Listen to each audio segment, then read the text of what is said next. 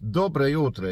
Нетипично для меня сегодняшнее видео будет на русском языке, да, потому что большинство случаев э, я обращаюсь к какой-то конкретной публике, и сегодня большинство из этих, э, к которым я обращаюсь, может быть, говорят на русском языке, я так думаю. Э, конечно, извиняюсь, да, потому что мой русский язык, ну, несовершенен, но я думаю, можно понять, что я хочу сказать, э, какую мысль я хочу донести сперва всего те, кто празднует 9 мая с праздником вас, да, без какого-либо сарказма, без каких-либо шуток, э, с праздником, да, празднуйте на здоровье. Э, без этого хочу сказать и пояснить ситуацию, да, что не все тут разделяют чувство праздника э, за 9 мая, потому что очевидно, что миллионы, да, миллионы людей 9 э, мая означает э, дату новой оккупации, э, не лучше и не хуже, а может быть даже хуже, да, нацистской, фашистской оккупации, против которой мы боролись. Поэтому, да, многие люди не разделяют этот праздник. Ну, я думаю, большинство из них, скажем, даже я, да, не имеем ничего против, если вы празднуете этот праздник.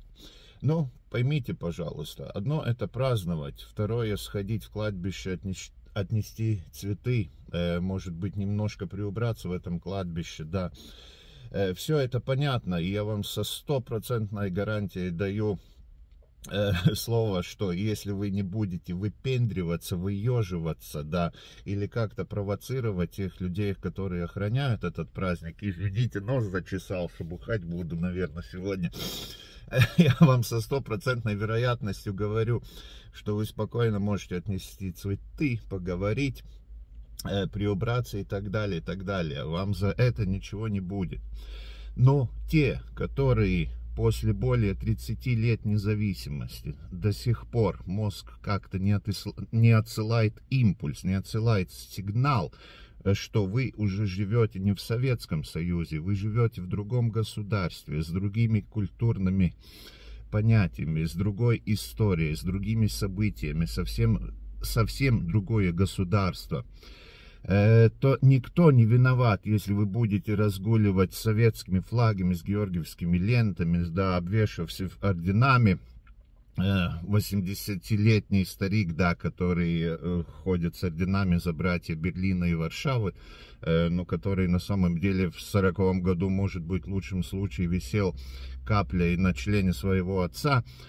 Все эти нам непонятны и провокационны. И поймите правильно, не виноват ни Жигис, ни Ренкевич, ни Латвия как государство, ни НАТО, ни Америка, ни Зеленский что за это будет, вы будете осуждаться, и вам будет исписаны штрафы, либо даже наказание уже по строжей мере. И это справедливо, и это правильно. Потому что вы живете в другом государстве, в другом государстве с, другой, с другими ценностями. Если до кого это еще не дошло, я говорю, не виноваты никто из упомянутых, виноватого или виновного вы можете спокойненько найти, посмотрев в зеркало. Это вы сами. Если до сих пор до вас не дошло, что вы живете в другом государстве, никто из нас не виноват. И я на сто процентов согласен, что все, которые идут, провоцируют, кричать, можем повторить, разукрашивают свои машины, Э, в цвета оккупантов для нас 9 мая это для большинства латышей это время другой оккупации. Пожалуйста, поймите это. И вы живете в нашей стране. Мы вам рады. Мы не, раз... не запрещаем вам э, праздновать ваши праздники. Но, пожалуйста, понимайте нашу культуру, нашу историю и нашу участь. И будем жить вместе. Если это вам трудно, и вы ненавидите государство, то я вам хочу сказать одну. Либо уважайте страну, в которой вы живете, либо выберите страну, которую вы уважаете, и, и рады будут все.